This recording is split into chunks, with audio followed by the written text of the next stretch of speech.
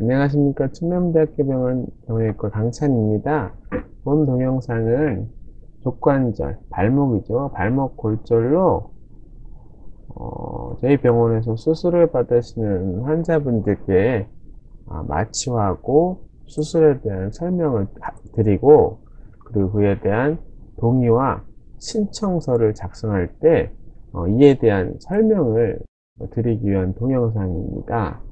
이게 이제 어, 동의민 시청서에 여러 가지 용어들이 의학용어로 좀돼 있는 부분이 있어서 어, 그냥 쭉 읽어보면 모르시는 부분들이 좀 계세요 있어요 어, 그래서 이것들을 실제로 하나하나 설명을 하면서 환자분들께 이해를 시켜드리고 또 그걸, 그걸 듣고 환자분들이 충분히 주지하신 후에 어, 수술과 마취에 대한 동의를 하시고 또 신청서를 어, 작성하셔서 어, 서명해서 제출하시면 되겠습니다. 본 양식은 우리 병원에서 이제 사용하는 골절, 조관절 어, 골절 마취 수술 동의서 및 신청서인데요. 종이서식이 음, 예, 아닌 태블릿 음, 전자서식은 양식이 좀 틀릴 수가 있습니다. 이 점은 먼저 참고하시기 바랍니다. 보시면 그 등록번호하고 환자분 성함, 주민번호 앞자리하고 1인지 2인지 여기 쓰는 거죠. 남녀 구분하기 위해서 이렇게 해서 작성을 하시고요.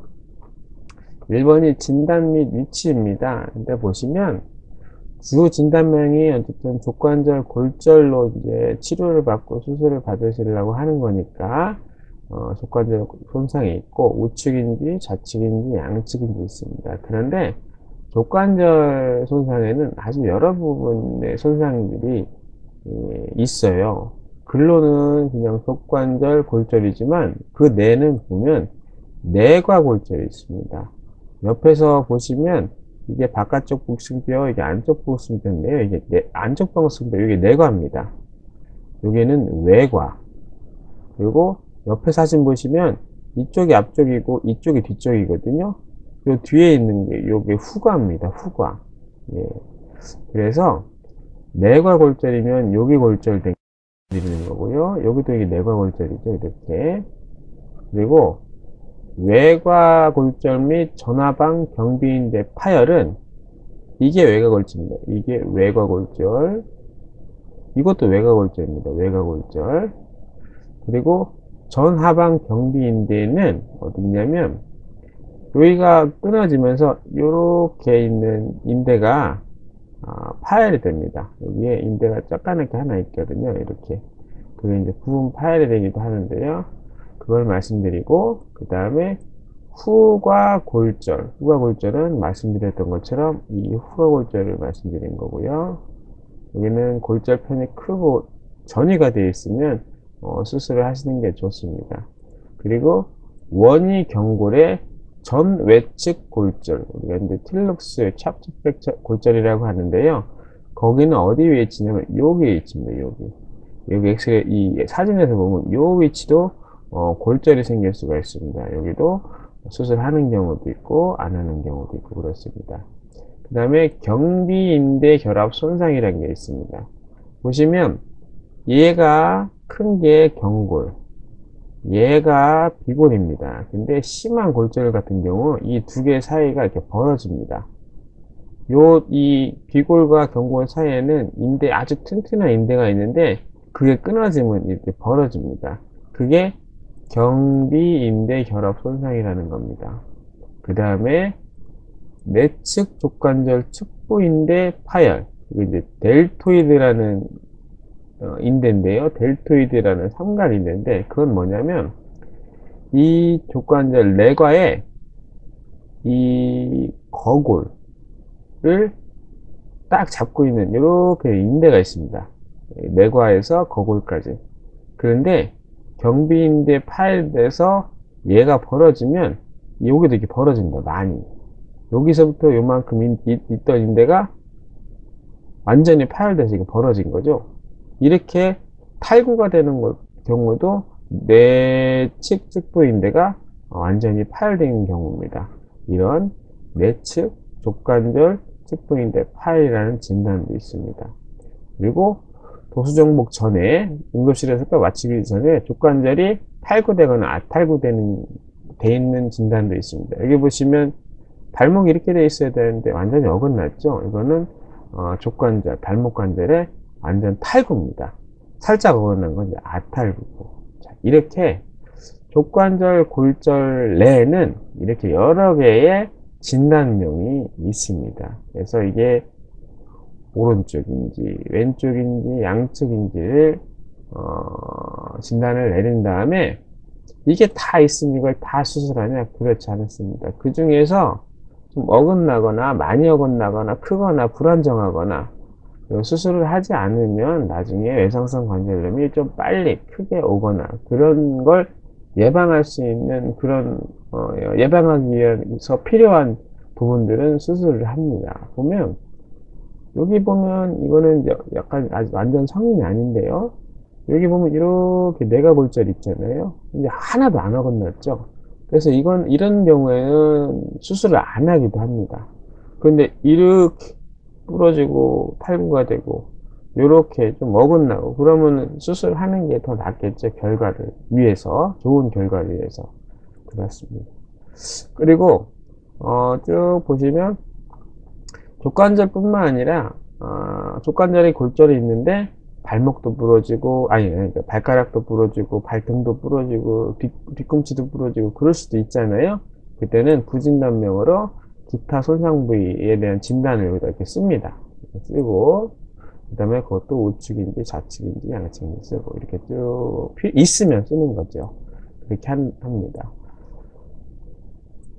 진단은 되었더라도 진단된 골절을 모두 수술해야 하는 것은 아닙니다. 수술을 하는 부위도 있고 수술을 하지 않는 부위도 있습니다. 그리고 즉 손상된 부위 모두를 반드시 수술해야 되는 것은 아니고요. 그리고 부종이나 수포, 물집이라고 하죠. 부종이나 수포가 심하거나 조절이 안 되는 지병이 있을 경우에는 수술은 당연히 연기되게 됩니다. 부종도 가라앉고 수포도 어, 없어지고 그리고 당뇨나 혈압이나 심, 심장 관련 질환이나 등등을 어느 정도 조절이 될 때까지 조절을 한 다음에 수술을 하는 겁니다. 예. 몇 가지가 일단 진단 및 위치에 대한 설명이었습니다. 이제 각 어, 골절에 대한 수술에 대해서 설명드리겠습니다. 자, 독관절 외곽골절 이 사진에서 보시면 여기가 부러진 게 외곽골절이고 여기가 부러진 게 외, 외곽골절입니다. 그러니까 외곽골절은 이제 음, 이 관절내가 아니고 요 위에서 부러져도 이제 관절내 골절로 취급을 합니다. 그래서 외곽골절을 외곽골절의 관절적 정부 및 내고정술은 어떻게 하냐면 피부 절개를 비골 장축 길이에 따라서 길게 곡선으로 피부 절개를 합니다. 다시 이제 이 모델을 보면 안쪽 복숭뼈, 바깥쪽 복숭뼈인데요. 여기다 빨간 선이 하나가 있고 빨간 점선이 하나 있습니다. 그래서 이렇게 해서 절개를 하기도 하고 그리고 이렇게 해서 절개를 하기도 합니다.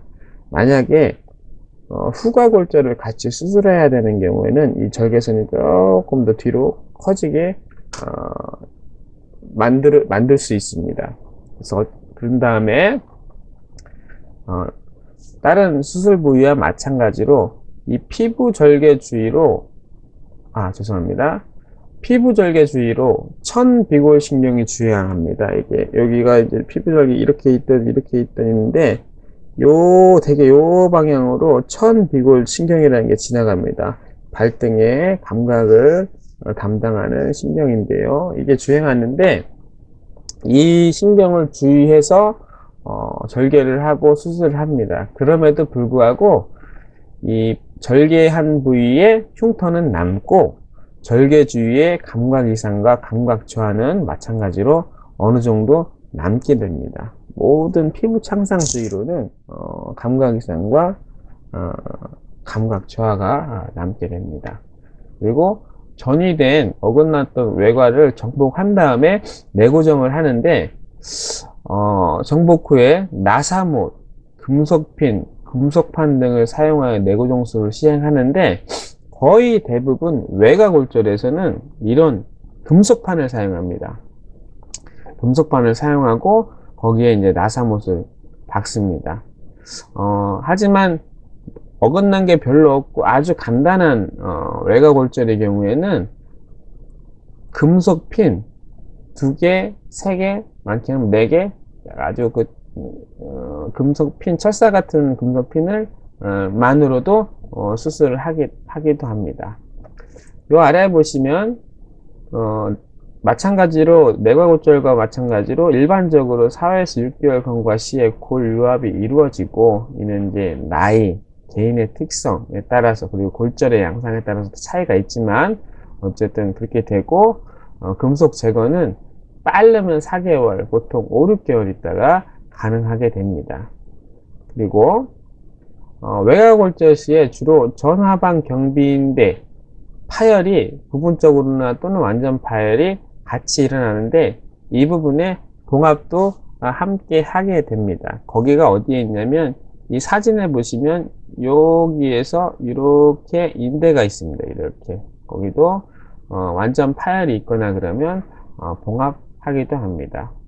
전화방 경비인대 봉합 후에도 족관절 불안정성이 의심될 경우에는 경비가 나사모 또는 금속핀 내구정을 추가할 수 있습니다. 인대를 여기서 이렇게 봉합을 했는데 이 뼈와 비골과 경골 사이가 계속 끈득끈득하고 좀 불안정하다. 그럼 핀을 이렇게 해서 이렇게 해서 한 어, 두세 개 정도 어, 추가로 박을 수가 있습니다. 여기까지가 어, 외곽골절의관할적 전공 및 내고정술에 대한 방법입니다. 다음은 어, 원위경골 전외측 골절 필룩스 샤프라고 되어 있는데요. 이 골절이 관할적 경범 및 내고정술에 대한 설명입니다.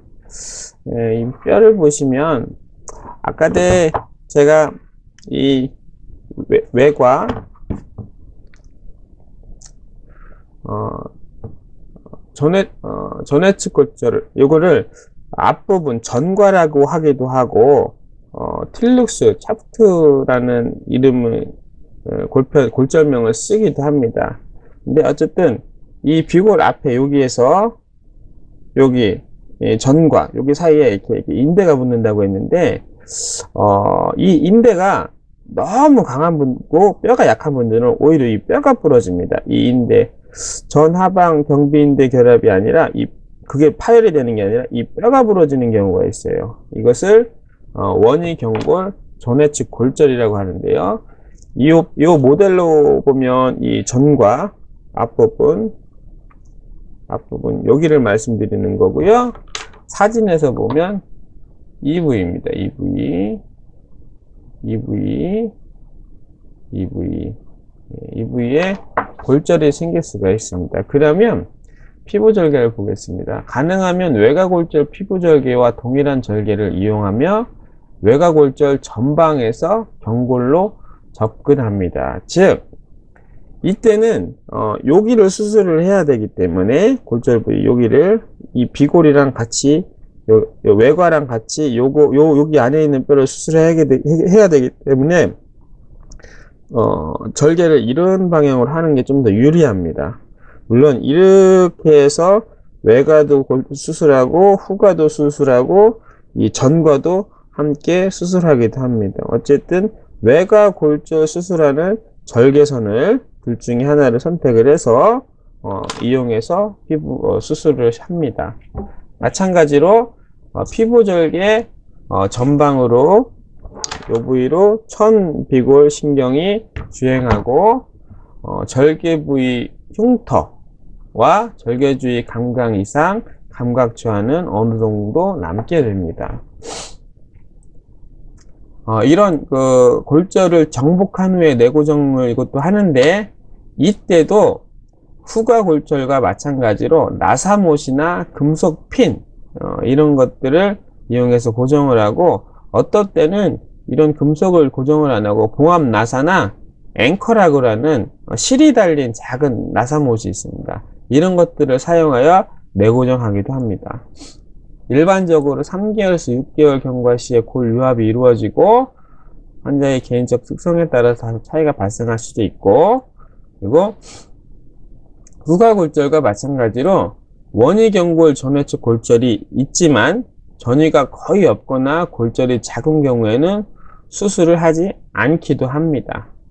후가골절과 마찬가지로 이렇게 수술을 하지 않았을 때에는 어, 4주에서 6주간은 체중 부하를 하시면 안 됩니다. 네. 예, 원위경골, 전해측 골절에 대한 어, 관절적 증복 및 내고 정수 설명이었습니다. 여기가 좀 오류가 있네요. 예, 좋습니다. 저장 한번 하고 다음은 경, 경비인대 손상의 정복 및 내고 정술입니다. 어, 경비인대 손상이라는 건 얘가 어, 경골이고 얘가 비골인데 이 경골과 비골이 벌어지는 겁니다. 이렇게 요 사이에 인대가 끊어져서 이렇게 벌어지는 겁니다. 그러면 관절이 벌어지거든요. 그럼 얘가 덜렁덜렁덜렁해서 나중에 관절염이 옵니다. 외상성 관절염이 그래서 경비인대 손상은 반드시 잘 맞춰줘야 됩니다. 자 아, 보시면 여기서 사진에서 보시면 어, 얘가 요, 요 사진에 여기 벌어진 게 경비인대 결합 손상을 의미하는 겁니다. 그러면 이렇게 나사 모드 하나 받기도 하고 두 개 받기도 하고 끈으로 묶어주기도 하고 이런 철심 여러 개를 받기도 합니다. 그에 대해서 설명을 드리면 피부 절개는 가능하면 외과골절 가능하면 외과골절 피부 절개와 동일하게 사용을 하고요. 예. 외과, 내과, 이 빨간색 피부, 어, 이 실선이나 점선 중에 하나를 사용한다고 했습니다. 그래서 외과 골절 전방에서 경골로 접근을 해서 절개를 합니다. 그래서 피부 절개 전방으로 천비골신경이 주행하니까 이 비골 절개선 앞으로 천비골신경이 주행하니까 주의해야 되고 하지만 수술하고 나면 절개상은 흉터가 남고 절개주의, 감각이상, 감각저가 어느 정도 남는다는 것을 알고 계셔야 됩니다. 그리고 전이된 경비인대 결합, 정복 및 내고정 또한 나사못이나 금속핀으로 이제 시 고정을 합니다. 또는 끈으로 어, 끈으로 고정하기도 합니다. 일반적으로 10에서 12개월 경과 시 경비인대 결합의 안정성이 아, 죄송합니다. 수정 자, 일반적으로 10에서 12주 그러니까 두 달 반에서 석 달 정도 지나면 경비인대 결합의 안정성을 이루게 됩니다 하지만 환자에 따라서 다소 차이가 발생합니다 그래서 어느 환자분 어느 원장님 선생님들은 어, 8에서 10주 있다 막 걸어도 된다고 하고 어떤 분들은 12주 더 넘어야 된다고 하고 어떤 분들은 4개월 동안 떼다니면 안 된다고 하고 뭐 좀 차이가 있습니다.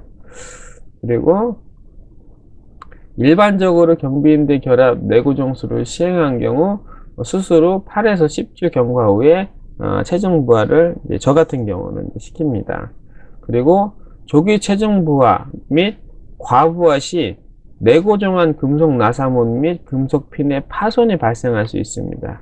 이게 무슨 얘기냐면 얘가 이제 걷잖아요. 그러면 이게 금속 나사못이 이게 부러지는 경우가 있습니다.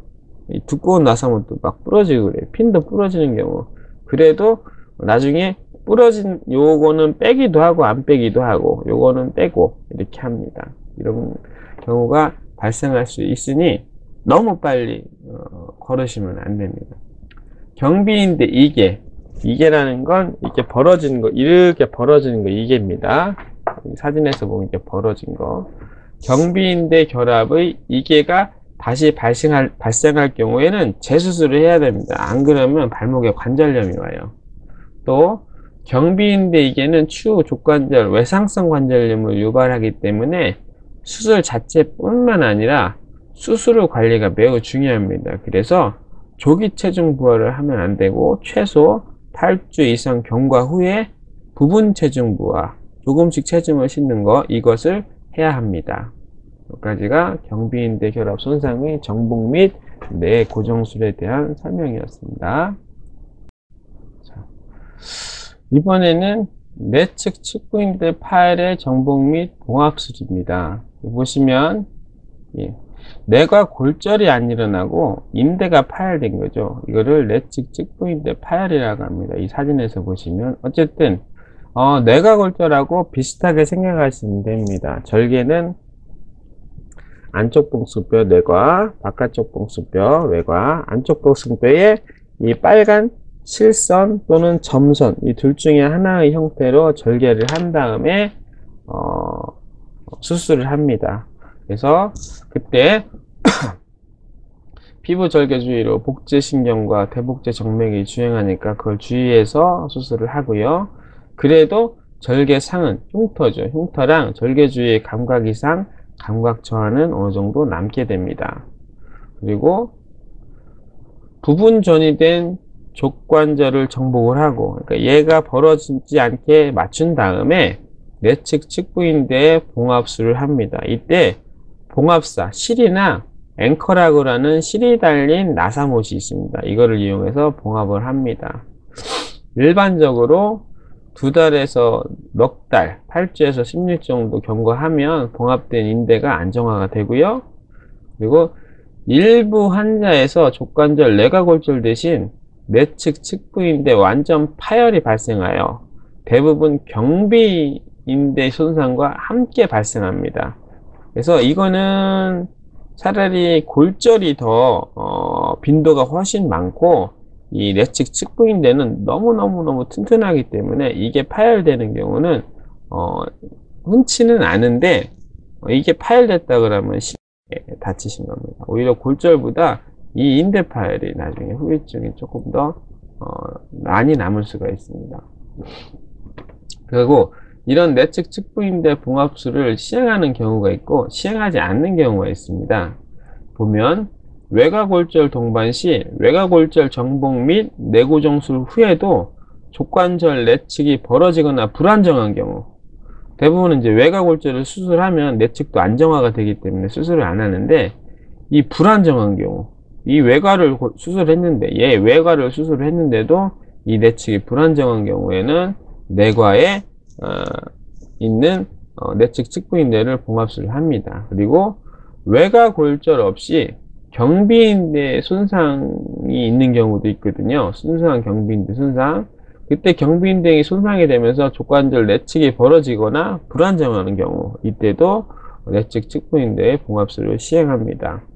그리고 내, 기타 내측 측부인대 파열이 있다고 강하게 의심되고 조관절의 불안정성이 있는 경우에는 수술합니다. 즉 내측 측부인대 파열이 있거나 강하게 의심되는데 발목이 끄덕끄덕하다 다른 거 수술했는데도 막이게 막 벌어진다 이렇게 벌어진다 그러면 수술을 하는 거고 외과나 다른 걸 딱 수술했는 수술했는데 여기도 튼튼하게 안잘안 움 아, 움직이고 튼튼해 그러면 어, 내측 측부인대 봉합술은 안 하는 경우도 있습니다 그래서 이거는 수술실에서 판단을 합니다 여기까지가 내측 측부인대 팔의정복및 봉합술에 대한 설명이었습니다 다음은 도수정복 전 적관절 탈구, 아탈구가 있거나 피부 상태가 좋지, 좋지 않은 환자분들의 경우에 대한 설명입니다. 보면 이거, 이 사진 보시면 발목이 완전히 탈구가 됐죠? 이런 분들은 피부 상태도 좋지 않으십니다. 자, 이런 분들에 대한 설명입니다. 족관절 내 외측에 인대 힘줄이 끼일 수가 있어요. 요 사이에. 그럴 경우에는 추가적인 피부 절개를 시행하고 확인할 수가 있습니다. 즉, 피부를 내측 절개, 외측 절개만 하는데 뭔가 좀 더 의심이 되면 뒤에다가도 절개를 추가로 도할 수도 있고 앞에다가도 절개를 또 추가로 할 수도 있습니다. 그리고 골절에 대한 정복 및내구정술과 인대에 대한 봉합술 후에도 관절의 불안정성이 심한 경우에는 외고정 장치를 추가로 고정할 수 있습니다. 그래서 완전히 어긋난 이런 경우 어, 긋났어요 그래서 골절 수술을 다 했어. 인대 봉합 수술도 다 했어. 근데 얘가 덜컹덜컹덜컹해. 어, 그런 경우에는 밖에서 철심을 이렇게 철 막대기를 이렇게 해서 외고정 장치를 추가로 어느 정도 인대가 어, 염, 아물어서 어, 어느 정도 어, 안정성이 유발될 때까지 외고정 장치를 하는 경우도 매우 매우 드물지만 가능성이 있습니다. 병실에서와는 달리 수술 내에서 피부 상태가 절개하기에 매우 부적당하다고 판단될 시에는 수술을 연기하거나 외고정 장치로 임시 고정을 하고 나중에 피부 상태가 호전될 후에 내구정장 내고정 장치를 다시, 내구정수를 다시 시행하는 그런 경우도 있습니다. 즉, 수술실에 내려가는데 이거는 도저히 피부 절개하면 뒷감당이 안 되겠다 싶을 때 그럴 때는 조금 더 피부를 온전화 시킨 다음에 내구정 수술을 하고 오늘은 외구정 수술로 어, 안정성만 확보를 해야겠다 하는 경우 이럴 경우에 어, 외구정 장치로 수술을 변경할 수도 있습니다. 이어서 어, 소독과 입원 기간에 대한 설명입니다. 자, 보시면 1번 일반적으로 부종 감소 그리고 수포가 호전되는 등의 피부 상태가 호전된 후에야 내고정수를 시행할 수가 있습니다. 그래서 수술 후 입원 기간 중 골절 수술 부위 소독은 보통 한 번에서 한 세 번 정도 합니다. 매일 하는 게 아니에요. 그래서 특별한 소견이 한 두세 번 했는데 특별한 소견이 없이 잘 마르면서 진물도 안 나고 깨끗하다 그러면 추가적인 수술 부위의 피부 소독은 하지 않습니다. 우리가 소독이라는 건 소독 자, 소독을 하려고 소독을 하는 게 아니라 피부 상태가 어떤지 관찰하려고 보기 위해서 열고 그러면서 열었으니까 소독을 하고 닫는 겁니다. 깨끗한 상처는 어, 진, 그 물이라고 하죠. 어, 뭐가 체액이 누수되지 않으면 안 건드는 게 더 낫습니다. 다만 체액이 지속적으로 나오거나 심한 통증, 부종, 발열이 지속될 경우 상처 확인을 위하여 몇 차례 더 추가로 피부 관찰을 시행할 수가 있습니다. 저희들은 어, 환자분들하고 생각이 좀 들린 게 피부 관찰을 위해서 까보는 거지 소독을 하기 위해서 까보는 게 아니에요 깨끗한 수술은 예, 감염 수술이랑은 틀립니다 근데 환자분들은 거꾸로 생각을 하세요 소독을 위해서 상처를 본다고 생각을 하세요 반대입니다 피부 상태를 보기 위해서 열어보는 거고 열어봤기 때문에 그냥 소독을 하는 겁니다 피부는 괜찮으면 안 건드는 게 제일 좋습니다 어, 골절 수술 후 입원 기간은 일반적으로 한 5일에서 일주일 정도, 열흘 정도 생각하시면 됩니다. 그리고 골절 수술 후에도 피부 상태나 체액, 분출이 오래될 경우 입원 기간이 연장될 수 있습니다. 이거는 골절이 아니라 일반 질환도 마찬가지입니다. 수술 후 입원 기간은 일반 질환 같은 경우는 더 짧을 수도 있고 골절은 보통 이렇습니다. 또한 개방성 골절, 복합 분쇄 골절, 피부 결손, 피부 괴사, 감염, 외고종 장치 등을 시행한 경우 등은 수술 후 입원 기간을 미리 예측할 수가 없어요. 왜냐하면 언제 치료의 끝을 완성할 수 아직 예측이 안 되기 때문입니다. 감염이 언제 나올지, 붓기가 언제 빠져서 언제 또 다른 수술을 할지. 그래서 뭐 어, 진물, 체액이 많이 나온다 그러면 퇴원 기간은 좀 더 연장된다고 생각하시면 되고 피부 상태가 안 좋다 그럼 퇴원 기간은 더 연장된다고 생각하시면 됩니다 기타 추가적인 수술 죄송합니다 기타 추가적인 수술후 치료는 아 기타 그그 그 밖에 어, 추가적인 수술후 치료는 예, 또 우리 선생님한테 구두나 또는 여러 개의 동영상을 만들어 놨는데 보시라고 하는 교육용 동영상을 시청하셔서 추가로 설명 들으시면 되겠습니다. 다음은 발생 가능한 합병증 후유증에 대한 설명입니다. 자, 보시면 이게 중요한데 여기가 제일 중요합니다. 의사는 의사 나름대로의 최선의 의료 서비스를 어, 제공하지만 부득이하게 발생하는 음, 그런 거에 대해서는 책임을 지지는 않습니다. 합법적인 치료 행위에 의해서 그 후에 결과가 나타난 합병증이나 후유증은 책임을 지는 그런 게 아니에요. 면허라는 게 그런 거거든요. 근데 환자분들이나 보호자분들을 가끔 오해를 하셔서 후유증이나 합병증이 생기면 의사가 잘못한 줄 아시거든요. 그래서 그런 게 아니라는 걸 미리 설명을 드리고 이해하시고 그리고 동의하셔야 어, 신청 동의하시고 신청서를 제출하셔야 됩니다. 뭐냐면 의료의 과실이 아닌 절개에 의한 피부의 세균 방어력이 저하되고 환자의 기저질환 또는 나이, 골다공증, 수술 후 치료 과정 중에서 환자분들이 좀 말씀을 잘 안 듣는 거, 술 마시고 담배 태우고 아니면 이제 선망이 있거나 인지장애가 있는 경우 이럴 때는 수능이 잘 안 되거든요. 이런 것 등등의 여러 가지 환자 소인에 의해서 합병증과 후유증이 적게는 1, 2%에서 많게는 5에서 30%까지 발생할 가능성이 있습니다. 이런 거에 의해서 발생하는 합병증은 어, 의사의 책임이 아니기 때문에 환자분들이 그걸 감수를 하셔야 됩니다. 특히 담배, 술, 당뇨, 고혈압 등의 원인으로 나타나는 합병증, 후유증이 제일 많고 그리고 의사의 지시에 따라야 하는 수술후 치료 과정을 환자분들께서 지키지 않는 경우가 그 다음으로 많습니다. 그래서 환자분들은 이러한 부분, 즉 부득이하게 발생할 수 있는 합병증, 후유증이 의사의 소인이 아니라 환자분에 의해서 소인이한 게 거의 대부분이라는 걸 숙지하신 후에 수술 신청을 수술 신청을 신중하게 하셔야 됩니다. 자, 그런 내용들을 일일이 좀 보겠습니다. 피부를 절개하는 모든 수술에는 아래와 같은 후유증이 남을 수가 있어요. 보시면 수술 부위 연부 조직 감염. 그래서 대부분은 이런 감염은 경증이고 그리고 소독, 항생제, 추가 투약을 통해서 치료가 됩니다. 그렇지만 매우 드물지만 세척수 및 재봉합수를 시행할 수도 있다는 거 그거 알고 계셔야 됩니다. 의사가 여기다가 막 침뱉거나 그런 게 아니고 환자분이 외상이나 지저 질환 때문에 이런 것들이 발생을 하는 경우가 거의 대부분이에요. 근데 환자분들이 오해를 하십니다.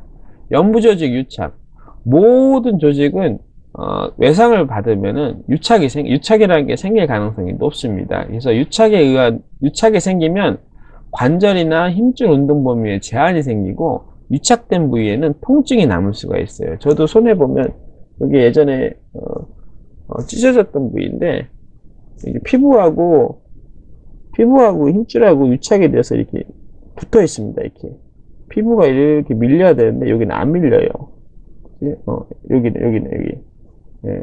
이런 유착이 항상 발생할 수 있고 그리고 피부 절개 주위 흉터 및 어, 피부 색깔이 변할 수가 있습니다. 그리고 드물게는 체질적으로 켈로이드 흉터가 남는 분들이 계십니다. 켈로이드 흉터라는 건 뭐냐면 절개하고 꼬매면 일자로 쭉 흉터가 남아야 되는데 이렇게 두껍게 볼록 튀어나와서 약간 보기 흉한 어, 그런 흉터가 남을 수가 있어요.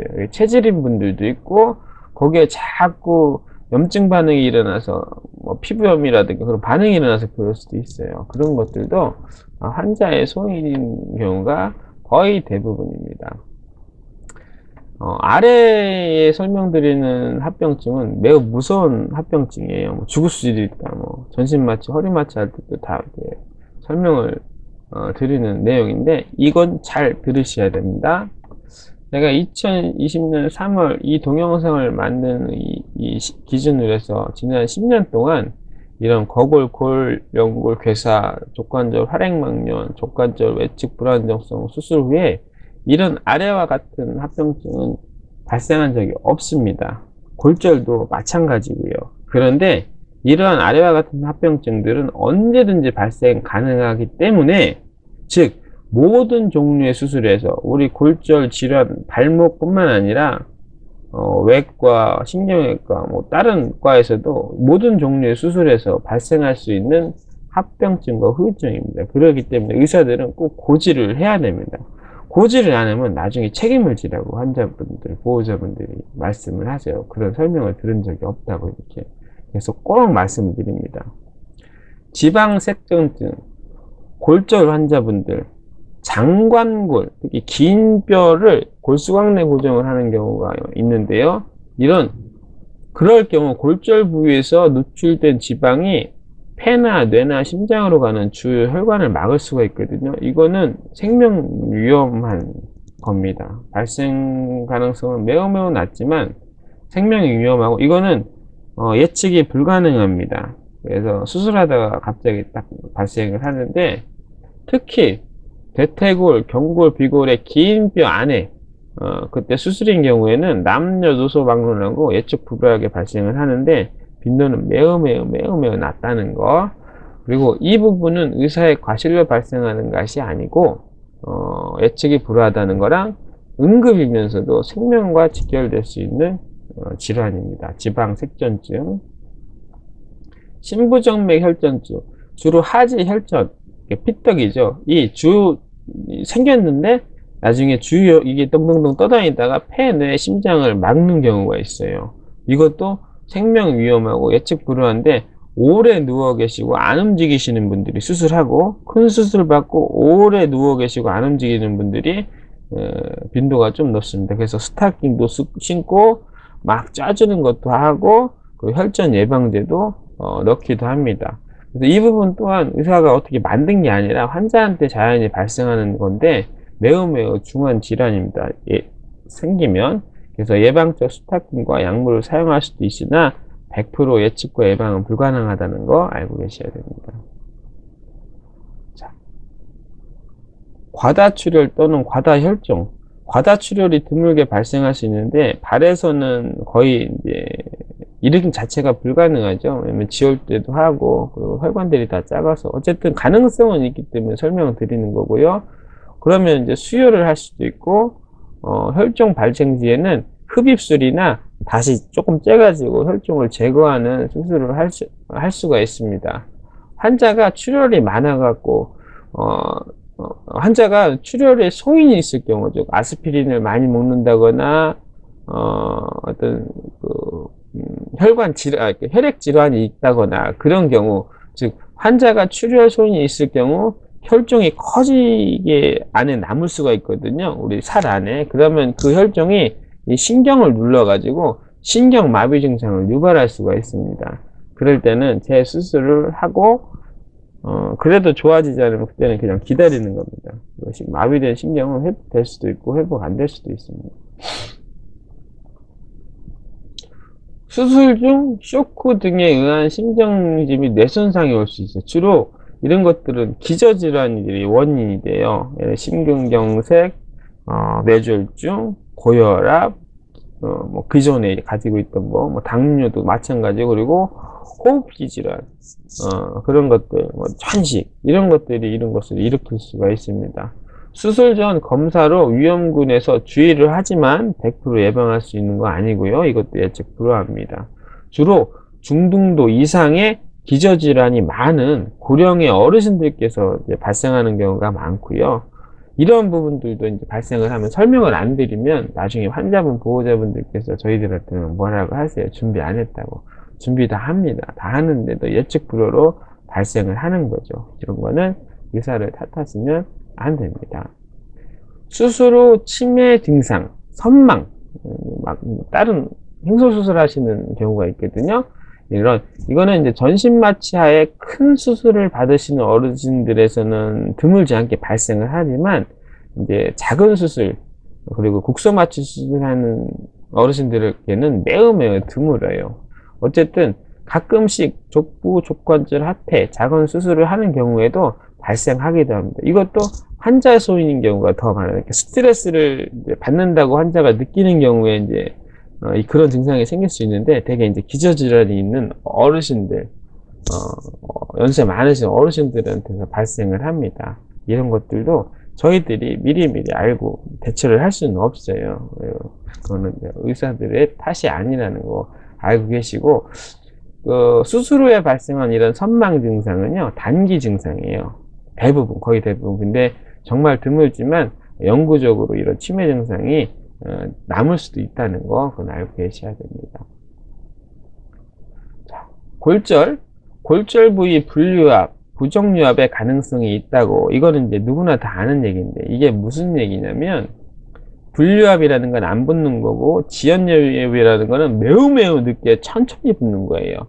이거는 복합 골절이나 개방성 골절의 경우에는 가능성이 매우 높아요. 예.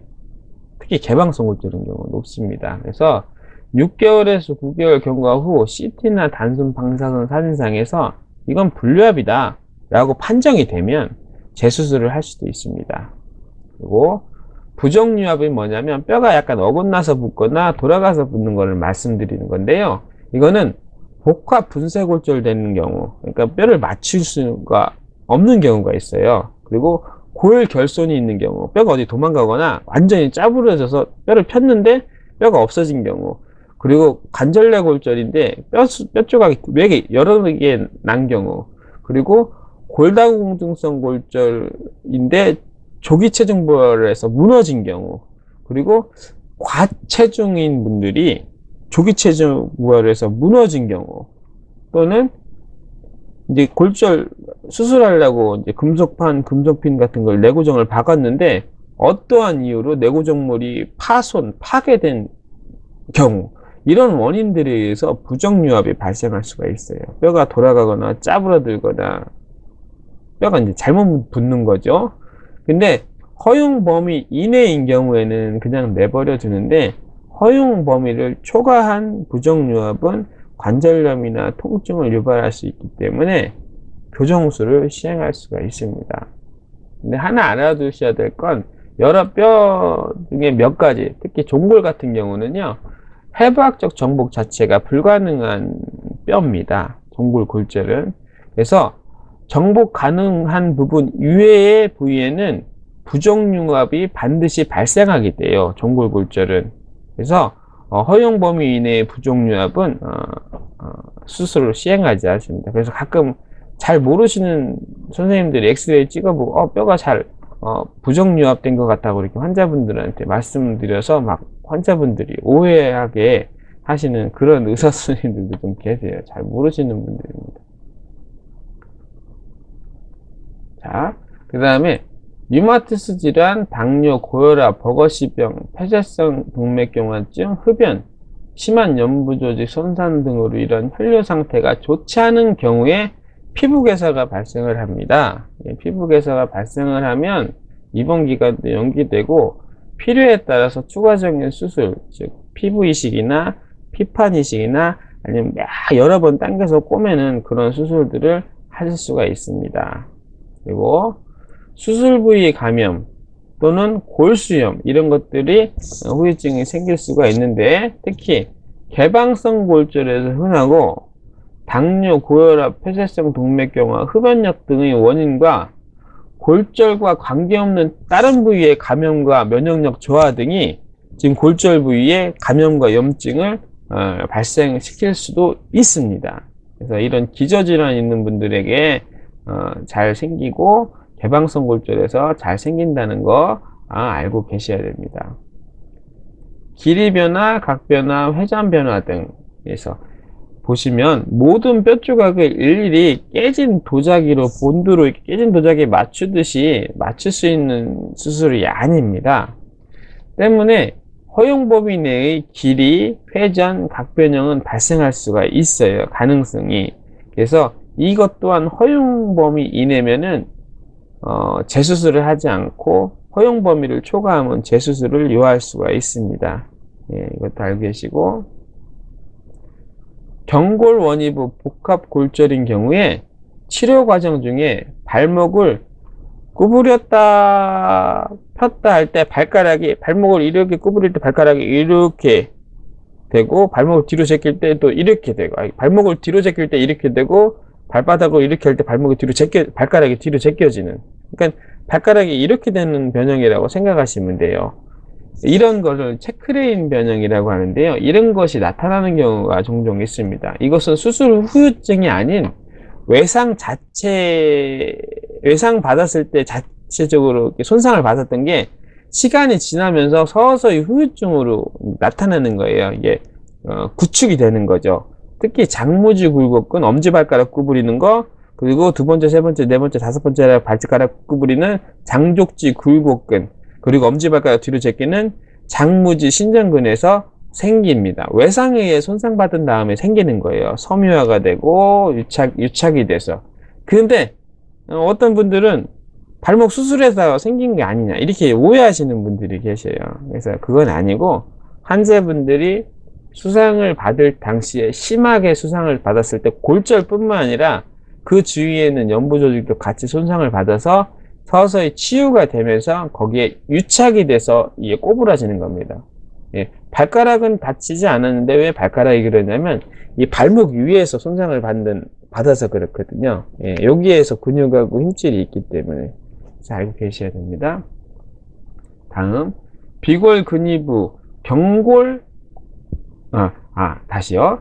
다음에 비골 근위부 또는 비골 경부골절을 수술 또는 비수술적 치료를 받고 일정 기간 경과 후에 발가락하고 발목이 뒤로 안 제껴지는 분들이 계셔요. 이게 비골신경 마비가 있는 건데요. 어디냐면 이제 발, 다친 건 발목을 다치는데 여기가 부러지는 분들이 있어요. 여기가 이게 이제 경골이고 비골인데 여기가 부러지는 분들이 있습니다. 여기가 보이시나요? 여기가 비골 경부 이게 경부 어, 근위부 어, 예, 여기 예.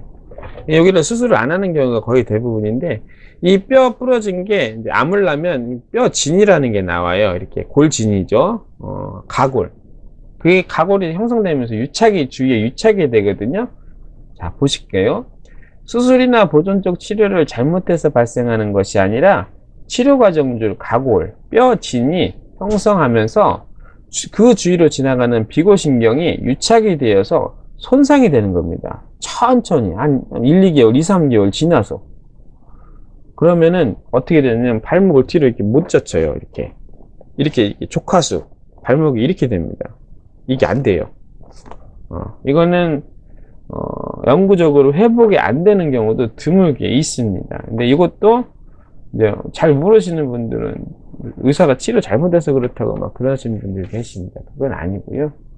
환자분들이 손상된 거에 대한 후유증입니다. 미리 예방하거나 그럴 수 있는 것도 아니고 100%.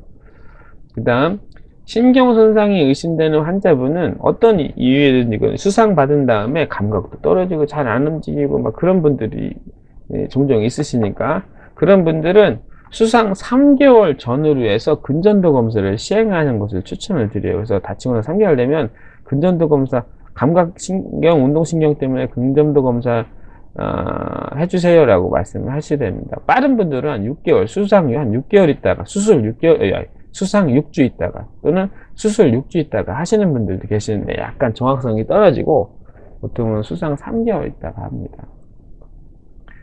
관절내 골절의 경우 아무리 수술이 잘 되어도 100% 회복하기 어렵습니다. 예, 이제 95%를 어, 목표를 하는 거예요. 읽어볼까요? 특히 관절내 복합 골절의 경우는 어떤 형태로든 외상성 관절염이 조금이라도 생깁니다. 그러면 나중에 통증이 조금 남고 어느 정도 남고 관절 운동 제한도 좀 남아요. 어쨌든 이런 관절내 골절을 수술을 치료를 잘 받아서 95% 이상 이제 회복이 됐는데 100%가 안 됐다고 또 이제 그 아쉬워하시는 분들도 계셔요. 그는 어쩔 수가 없어요. 관절을 다쳤기 때문에. 다음 소아의 경우 소아의 성장판 골절 및 손상의 경우 각변형, 길이 단축 등이 어, 적지 않게 발생을 합니다. 그래서 좌우 차이가 많이 되거나 변형이 좀 심하거나 기능에 제한이 있을 경우에는 어, 성인이 돼서 또는 성장하는 과정에서 어떤 시기가 되었을 때 어, 다친 다리를 수술하거나 반대쪽 정상인 다리를 수술하는 경우도 있습니다. 그건 알고 계시고 그건 또 추후에 전문가인데 따로 어, 설명을 들으시기 바랍니다. 뼈 수술을 위해서 사용하는 기구 대부분이 금속인데요. 뭐 드릴도 있고 근데 수술 중에 파손의 가능성이 있습니다. 가느다란 것도 하다 보면 이게 하다 보면 안에서 또 부러질 수가 있거든요. 그리고 그 파손된 금속이 뼈 내부에 남아 있을 수가 있어요. 가능하면 이제 제거를 하는데 파손된 금속을 제거하기 위해서 추가로 절개를 하고 뼈를 깎아내고 하는 과정이 환자에게 득보다 실이 더 크다고 판단이 되면 또는 이 금속이 있는 게 이 이 뼈의 겉에 있는 게 아니라 뼈 안에 이 뼈 안에 해면골이라고 하는데요. 어, 속뼈죠, 속뼈. 이 순수하게 해면골 속뼈 안에만 국한되어 있다면 제거 안 하고 그냥 나올 수도 있습니다. 왜냐면 전혀 문제가 되지 않기 때문에. 근데 이제 그런 경우 엑스레이 찍으면 무슨 어 어, 드, 라이브 드릴 그 비트 그 같은 게 이제, 아니면 철사 같은 게 쪼까는 게 뼈 안에 막 남아 있는 게 보이기도 하거든요. 그러면 이제, 이제 환자분들이나 보호자분들이 막 오해하십니다. 그거 어, 부드러 부러뜨려서 넣는 게 아니라 수술을 하다가 부러진 건데 뼈 안에 남아 있기 때문에 안 빼고 그냥 나오는 경우가 있어요. 그거는 뭐 어, 무슨 배에다가 무슨 꺼즈 남겨놓고 그러는 거랑은 차원이 틀려요. 그건 어쩔 수 없다는 거 어, 그거 알고 계셔야 됩니다. 다음은 어, 기타 수술 관련 확인 사항입니다. 어, 직접적인 수술이 아닌 기타 사항 보시면 설명드리겠습니다. 수술실에 의사, 간호사 외에 교육생들, 의대생, 간호학과 학생, 간호조무 실습생, 그리고 교육 목적으로 방문한 외부 의료기관 의사, 또 기타 보건 의료인이 수술실에 출입할 수 있습니다. 이건 알고 계시고요. 충남대 병원에 모든 기구가 다 준비되어 있는 게 아니에요. 가끔씩 쓰는 기구나 장비는 어, 의료기 가끔씩 쓰는 의료기기 장비 재료들은 빌리거나 아니면 그때그때마다 신청을 합니다. 이런 것들을 환자 수술 중에 사용할 경우에는 관련 업체 직원이 해당 물품을 조달하고 설명할 목적으로 수술실 내로 출입할 수도 있습니다. 즉 허락 어, 교육을 받고 허락을 받은 사람이요. 예, 그분들은 환자분을 접촉하지는 않습니다. 그리고 뼈 이식이 필요할 경우 사용되는 골 대체제, 뼈 대체제 제품이죠. 그리고 신경, 혈관, 힘줄 등의 유착을 방지하는 데 사용하는 유착 방지제. 경우에 따라서 어, 결손 부위를 충전을 위한 콜라겐 충전제 같은 거 그리고 나일론이 아닌 피부봉합 본드 같은 거 그리고 출혈을 멈추는 지혈거즈 같은 거 이런 것들은 부분급여이거나 즉 환자 부, 환자가 부분 본인 부담을 하거나 아니면 비급여 환자가 100% 본인 부담을 하는 경우가 많아요 이런 경우를 이런 것들을 수술하다 보면 쓰게 되는 경우가 많이 있습니다 특히 골절 같은 경우는 골대체제, 유착방지제, 어, 피부봉합본드, 지혈거즈 이런 것들을 거의 씁니다 이런 것들이 쓰는 이유는 치료 결과를 향상하기 위해서 사용되는 경우가 대부분인데요. 어떤 분들은 이제 그 비급여 제법 썼다고 막 뭐라고 하시는 분들 계세요. 예. 그래서 정 나는 이거 사용 원치 않고 비급 안 쓰겠다 그러면 꼭 수술 전에 말씀 주셔야 됩니다. 그리고 개방성 골절과 피부 창상 이외에 수술 부위 감염 회복에 큰 영향을 미치는 것이 혈액순환인데 당뇨, 고혈압, 폐쇄성 동맥 질환, 부정맥, 심부전맥 신부전증 등의 환자분들은 혈액순환이 대부분 좋지 않거든요. 이러한 환자분들은 수술 상처가 다 아물 때까지 절대 술, 담배 하셔서는 안 됩니다. 나중에 후회하십니다. 수술 후 1회에서 3회 상처 확인, 관찰, 그러면서 소독한다고 했죠. 어, 확인 후에 정상적 피부 소견일 경우 추가로 상처 확인을 하지 않습니다. 그러니까 왜 소독 안 해주냐고 막 뭐라고 하시면 안 되고요. 소독 안 한다는 건 어, 상처가 괜찮다는 거니까 안심하시면 되는 겁니다. 치료 과정 중 정확한 반기부스 또는 통기부스 기간과 체중 부하 시작 시기는 수술이 끝난 후에 결정이 됩니다. 그래서 수술 끝나면 어느 정도 교육을 시켜드릴거예요 아니면 환자한테 맞는 동영상을 신청하라고 할 수도 있고요. 그거는 그때 설명드립니다. 비체중 부하 또는 부분 체중 부하 시기에 가급적인 목발이나 무릎 자전거 사용을 권장을 합니다. 예. 그리고 골절 확인 진단서는 일반적으로 어, 수술 후에 완전히 진단이 확정이 된 후에 발급되고 가끔 동사무소 제출용 장애진단서를 떼달라고 하시는 분들이 계세요. 어, 이번에 계실 때 이런 장애진단서는 치료 종결 6개월 후에 발급을 하는 겁니다. 그래서 나중에 외래에서 신청을 하시는 겁니다. 그리고 수술행위는 그 자체가 100% 치료를 보장하는 것이 아닙니다. 기능을 회복을 위한 최선의 선택이죠. 근데 대, 어, 음, 떤 환자분들께서 이거 수술하면 100% 완치되는 거냐고 물어보시고 이거 수술하면 다치기 전으로 100% 회복하는 거냐고 여쭤보세요. 약간 강요하듯이. 절대 그렇지 않습니다. 어, 의사의 경험과 지식을 통해서 환자분이 어, 최선의 결과를 나오게끔, 치료 결과가 나오게끔 하는 행위 중에 하나가 수술 행위일 뿐이고, 예, 그 수술 행위가 어, 암만 잘한다고 해서 환자분이 질환 전, 외상 전으로 100% 돌아가지는 않습니다. 자, 10번이네요. 수술 행위만큼이나 수술 후 회복 치료, 깁스 치료, 보조기 치료, 운동 치료, 물리 치료, 이 매우 중요합니다. 그렇기 때문에 추가적으로 수술 후 치료 과정에 대해서는 별도 설명을 들으셔야 돼요. 요, 요 수술 동의 및 어, 신청서, 마취 동의 및 신청서에서는 이거를 자세히 설명하지는 않습니다.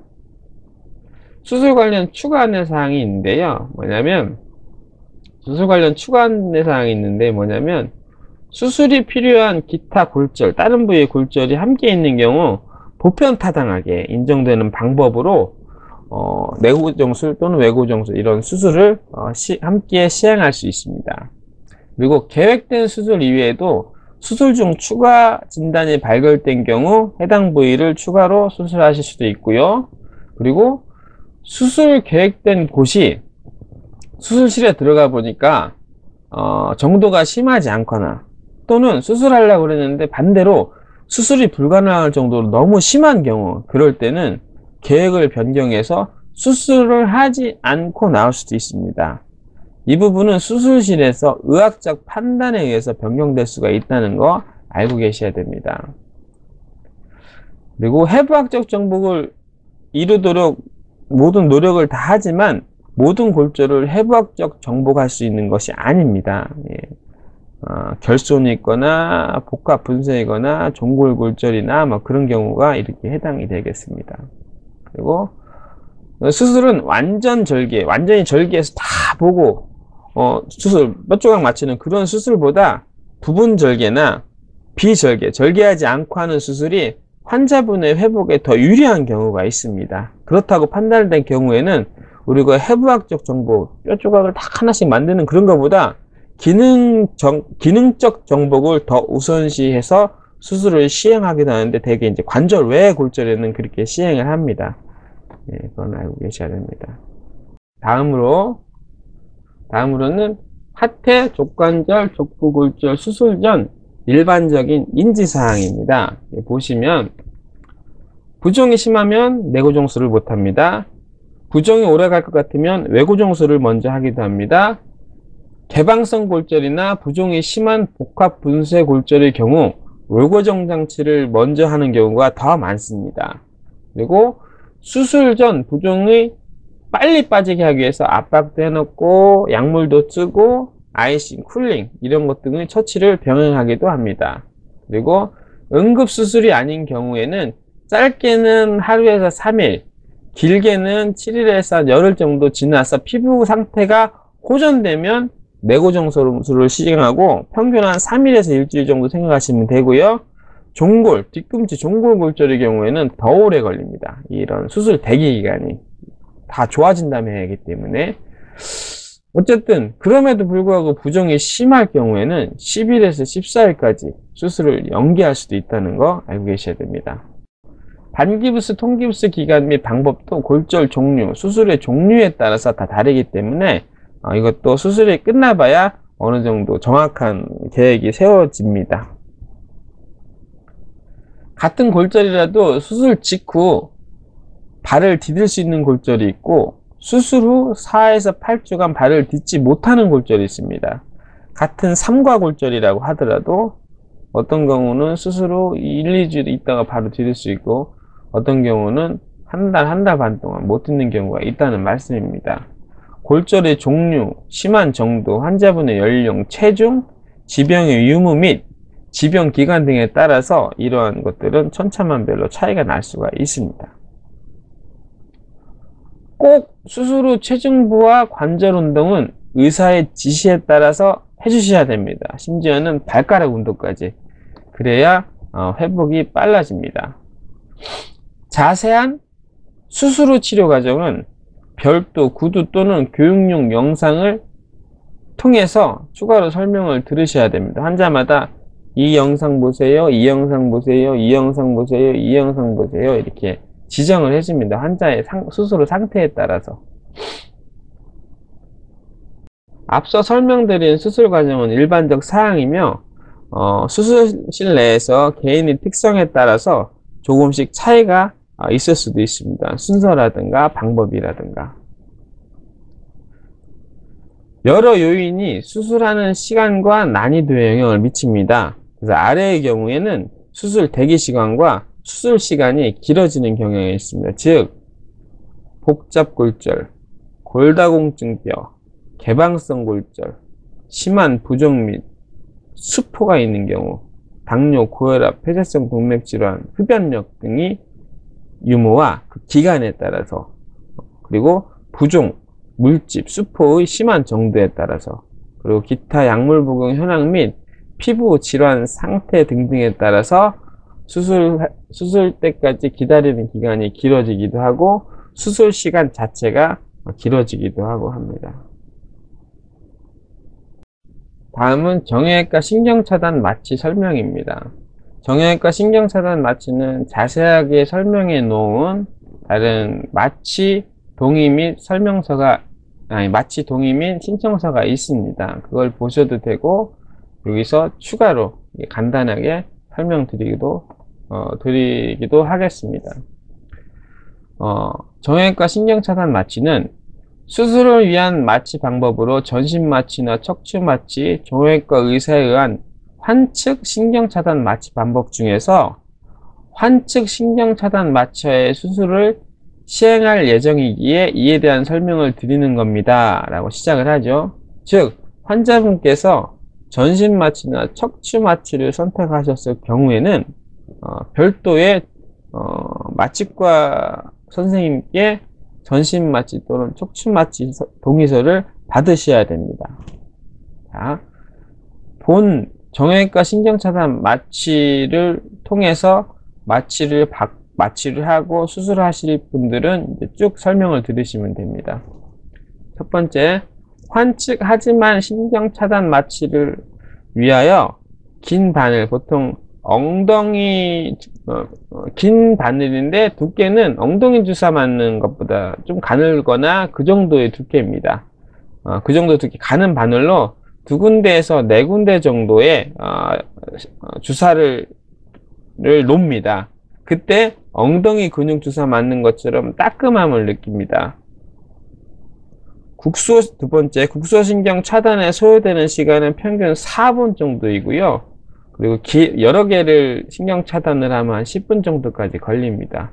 그리고 국소신경 차단수로 통증을 느끼지 않을 때까지 소요되는 시간은 50분 내외입니다. 이게 무슨 말씀이냐면 완전하게 주사 맞고 어, 신경 차단 주사 맞고 완전히 마취가 되는 데까지 한 50분 정도 걸린다고 생각을 하시면 됩니다.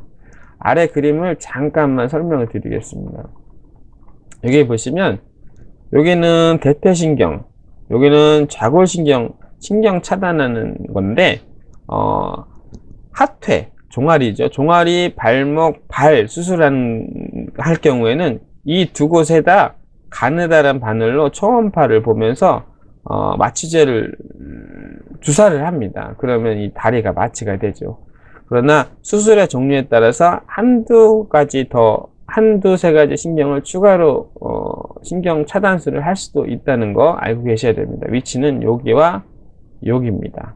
그리고 이 옆에 그림 보시면 마치 한시간전 수술, 수술 마치 한시간전 수술 받으시는 쪽에 국소 마취 크림 도포 부위 이렇게 해서 빨간색 박스가 있는데요. 이게 어, 수술 어, 그 마취하기 1시간 전에 이 빨간색 박스 오른쪽 왼쪽 두 개죠 이 서해부랑 이 허벅지 외측 약간 뒤쪽 여기에다 이만큼 크기로 우리 간호사분들 의사 선생님들 도움을 받아서 어, 국소 마취 도포제를 발라 놓습니다 그러면 어, 실제로 이렇게 아, 마취를 할때 음, 이 대퇴신경, 좌골신경 마취를 할때 피부 따끔한 증상이 조금 덜합니다. 여기 오시면 올라가셔. 예, 세 번째 하겠습니다.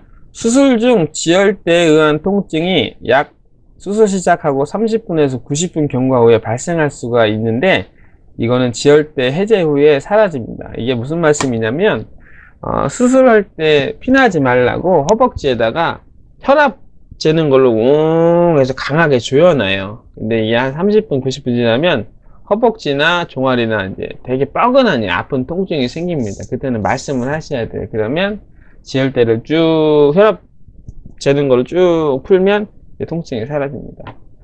그리고 마취 후 진통 효과는 평균 11시간, 길게는 뭐 19시간, 24시간도 가는 경우도 있는데 이런 마취 진통 효과가 오래 지속되기 때문에 마취가 완전히 풀릴 때까지는 수술후 통증을 느끼지 못하는 장점이 있습니다. 그래서 이거는 알고 계시면 장점이고 모르고 계시면 마취가 안 풀린다고 막 고민하고 걱정하고 그러십니다. 그래서 마취하고의 진통의 차이는 뭐냐면 마취는 어, 암만 강한 자극을 해도 통증을 못 느끼는 게 마취고요.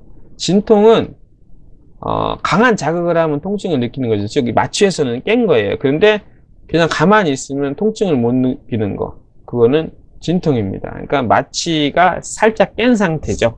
어, 진통. 네, 이 진통도 다 없어지면 이제 마취가 완전히 깬 거고요.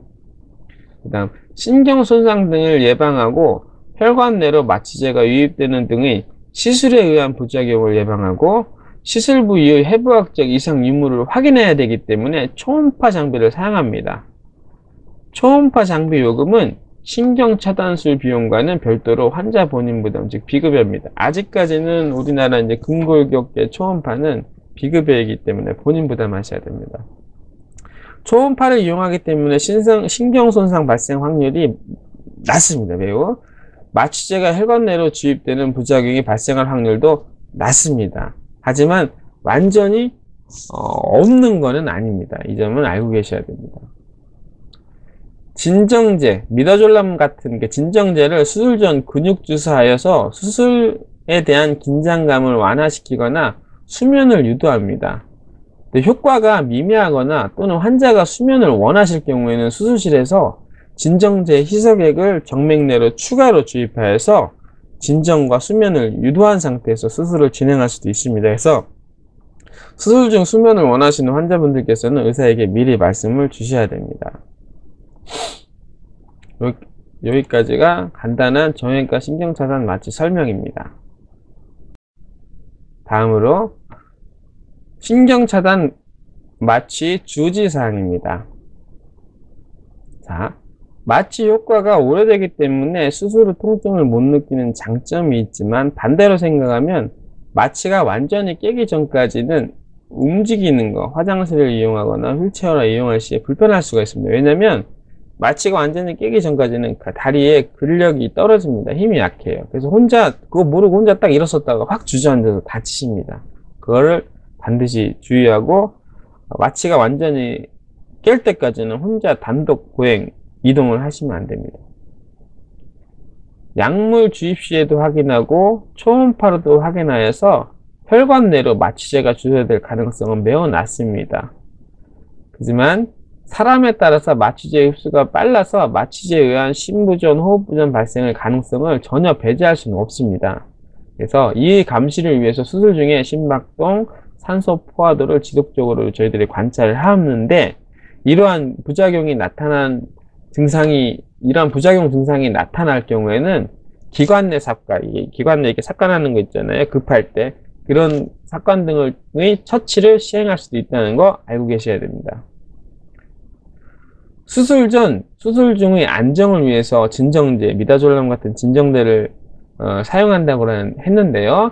안전 용량 사용합니다. 그런데 개인에 따라서는 과민하게 반응할 수도 있고 반대로 반응이 없기도 합니다. 그래서 고령, 과체중, 수면무호흡, 코골이, 심장, 신장, 간질환이나 약물 과민 반응이 있으신 분들에게서 이 수면무호흡이나 선망 등의 증상이 나타날 가능성이 있습니다. 혈압이 조금 떨어지면서 이럴 경우 우리 수액을 주고 그리고 진정제에 이런 기량제, 항독소제가 있어요. 예, 플루닐 같은 약이 있는데 이런 약을 투약을 하고 산소 공급으로 호흡을 회복하면서 괜찮으면 거기서 끄시고 그래도 환자분이 좀 회복이 늦다. 그럼 이때도 기관 내 삭감 등의 처치를 시행할 가능성은 있습니다. 허용 용량 범위 내에서 진정제로 진정과 수면을 이루지 않는 환자분들이 가끔 계세요. 즉, 왜냐면 보통 뭐, 뭐 술로 따지면 소주 한 병을 먹으면 취해서 주무시거나 그래 취해야 되는데 어떤 분들은 소주 한 잔만 먹어도 취하시는 분이 있고 어떤 분들은 소주 두 병, 세 병, 네병을 드셔도 안 취하시는 분들이 계세요. 근데 우리 약이라는 건 보편적인 평균적으로 이제 허용 용량이라는 거 있는데 그걸 줬는데도 잘 진정 안 주무시는 분들이 계세요. 그러면 그분들 더 드리냐? 소주 한 병, 두 병, 세 병 드리듯이 그러지는 않습니다. 어, 허용 용량을 초과해서 드리지는 않고요. 그럴 경우에는 환자분들께 이제 음악이나 영화나 아니면 귀막이나 이런 것들을 제공해 드립니다. 무균적 및 초음파 유도화 시술을 시행을 하지만 주사 부위를 통한 신경 감염, 신경 마비 증상이나 자극 증상의 가능성을 100% 예, 어, 배제할 수는 없는 겁니다. 사람이 하는 거기 때문에. 참고로 저 같은 경우는 어, 10년 이상 동안 한 8천 명 이상을 이런 그 신경 차단 마취, 정형외과 신경 차단 마취로 수술을 했는데 아직까지 신경 감염이나 신경 마비 합병증은 없었습니다.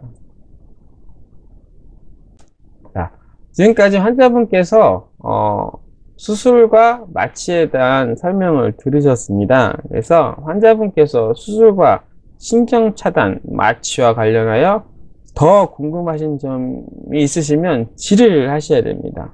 그래서 질의를 하면 저희들이 여기다 1번, 뭐 2번, 3번 대답해서 기록을 해놓고 있으면 있다고 이렇게 표시를 하는 다음에 질의응답을 가집니다. 환자분께서 더 이상 없다고 하시면 없다에서 표시해 놓고 여기 보시면 환자 보호자께서 궁금증을 모두 해결한 후에 추가적으로 궁금한 사항이 없을 시 이곳에 자필 서명을 하셔야 됩니다. 그럼 뭐냐면 아 이제 나는 어, 마취하고 수술에 설명 다 들었다 충분히 이해하고 알아들었다라는 내용을 확인하는 거 이거는 이거는 동의서 어떻게 해서 그러면 어, 이해한 걸 확인하는 거죠. 신청서는 아니에요. 신청서는 이겁니다. 이거. 이거. 자, 볼까요? 환자 본인 또는 환자의 법적 보호자는 환자의 수술 전 진단에 따른 수술과 마취의 방법 과정 그리고 발생 가능한 합병증, 후유증 등을 구두 또는 동영상을 통하여 설명을 들었고 같은 내용을 지금 본 동의서를 종이나 아니면 태블릿으로 이렇게 보여드리고 쭉 설명을 이렇게 읽어보시라고 하거든요. 그 동의서 내용, 본 동의서 내용도 숙지를 하였으며 추가로 궁금해한 점에 대하여도 뭐 저나 아니면 다른 정형외과 선생님에게 추가로 설명을 들었다라는 것을 확인하시고 그 다음에 수술 및 신경차단 마취 시 발생할 수 있는 합병증, 후유증 중에서 의료 과실이 아니거나 불가항력적인 부분, 그리고 본 동의서에서 설명하고 인지한 부분에 대하여는 수술과 신경차단 마취를 시행한 의료진에게 이의를 제기하지 않을 것을 서약하면서 상기 수술과 신경차단 마취를 신청함. 이게 이제 신청서입니다. 여기서 앞에서도 설명을 드렸지만 의료 과실이 아니거나 불가항력적인 부분이라는 게 있어요. 예를 들어서 수술하려고 피부를 쬐으면 흉터가 생기고 그 주위에는 감각 저하나 이상감이 생기는데 그거는 이제 수술에 대한 후유증이죠. 이건 수술에서 생긴 결과입니다. 그런데 그건 의사의 과실이 아닙니다. 근데 가끔 어떤 분들은 이거 의사가 잘못해서 그런 거라고 하면서 이제 막 뭐라 하시는 분들이 계세요. 이런 것은 의료 과실이 아닌 그런 거나 마찬가지로 불가항력적이라는 건 뭐냐면 어 예를 들어서 이제 암 3기, 4기 환자분들이 계시다고 하면 그분들이 치료를 위해서 수술을 하셨어요. 그래서 100%다 암이 완치되면 좋은데 그렇지 않은 경우도 있거든요. 전이가 됐고 3, 4기면 전이가 됐지만 어쨌든 그래서 완치가 안 되는 경우도 있습니다. 그런데 수술했는데 암이 완치가 안 됐다고 막 뭐라고 하시면 안 됩니다. 그거는 환자의 소인이고 그리고 어, 불가항력적인 부분이라는 것이죠.